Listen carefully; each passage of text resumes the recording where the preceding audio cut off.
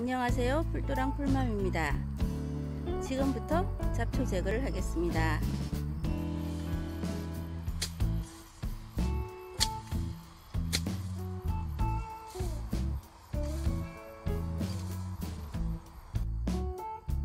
지금 아무것도 보이지 않지만 여기에는 바디나물하고 참취나물이 심어져 있습니다.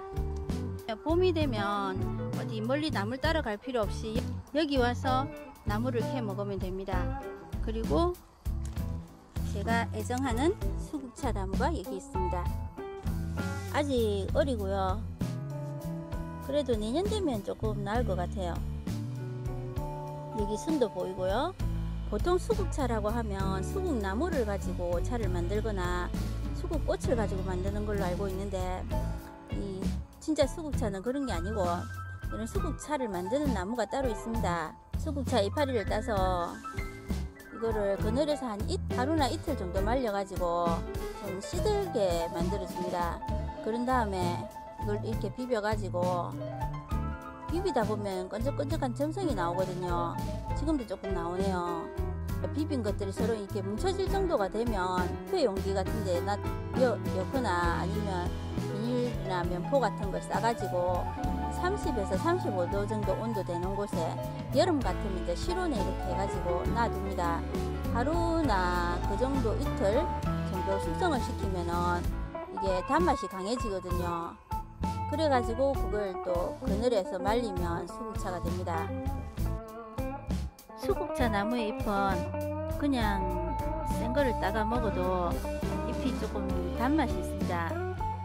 브라, 브라 보노이드를 먹은 것 같은 시원한 맛과 함께 끝에 도는 단맛이 있는데요. 당분이 있는 단맛이 아니라서 당뇨병 환자들한테 좋다 그러더라고요. 그리고 수국, 차수국 잎을 먹는다고 해서 혹시 일반 수국 잎도 먹을 수 있나 생각하실 수도 있는데 일반 수국은 독성이 있기 때문에 함부로 자시면 안 됩니다.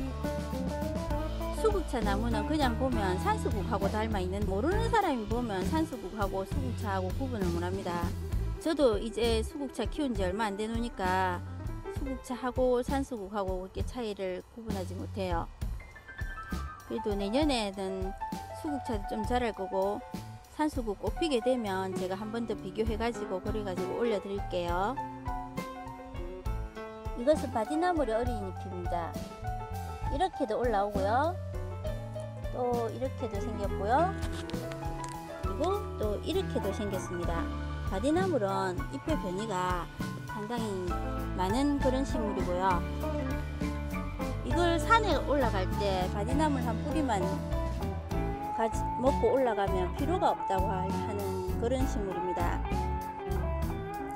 지금 바디나물은 이런 상태로 있, 는게 아니고 꽃이 올라온 상태로 있어야 되는데 얘들은 좀 어린 개체고 여기가 그늘인 데다가 아까 풀이 많아가지고 상당히 지금 부드럽게 올라와 있습니다. 이 정도 되면 나물로 먹어도 됩니다. 이렇게 따서 쌈채나 나물 또는 겉절이나 장아찌로 이용합니다. 물론 뿌리도 같이 이용할 수 있어요. 뿌리는 도라지나 이런 것들 더덕 같은 거 먹듯이 그렇게 무쳐서 하시면 됩니다. 이것이 바디나물의 꽃입니다. 지금 얘가 상당히 키가 커서 한 2m는 될 것 같아요. 제 키보다 큽니다.